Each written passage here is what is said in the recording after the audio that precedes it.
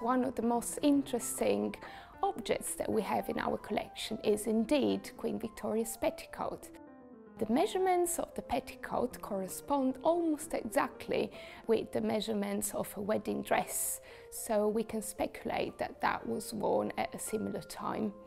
And it's quite a special object because a petticoat would have been worn underneath a dress, so in very close contact with the skin of the queen this fits for a queen because it's one of the finest cotton lawn and the gathers at the waist are stitched very finely by hand.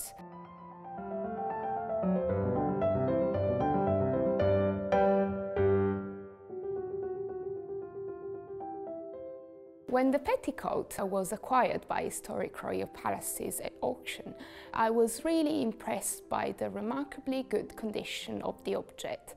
This is because it was probably more like a treasure gift rather than being worn by someone else.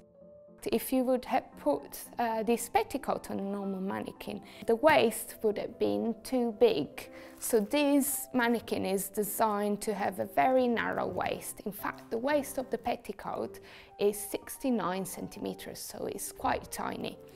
However, we still have to work to build up the shape that we need.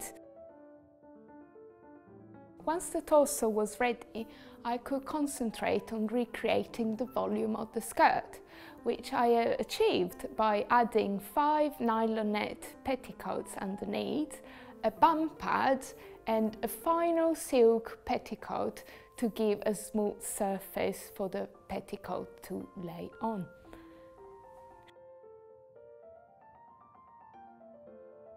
Our mannequins are designed to disappear, so you don't see the mannequin itself, but you just see the object.